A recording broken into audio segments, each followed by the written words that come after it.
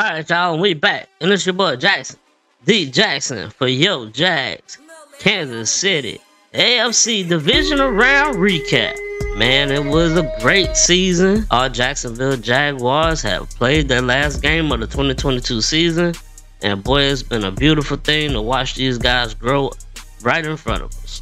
Now, this video won't be so much of a recap but more of a end of the season thank you to the team on this wild ride. It was a great thing to watch these boys grow, and the future is so very bright. There's nothing to be sad about and nothing to hang your head about.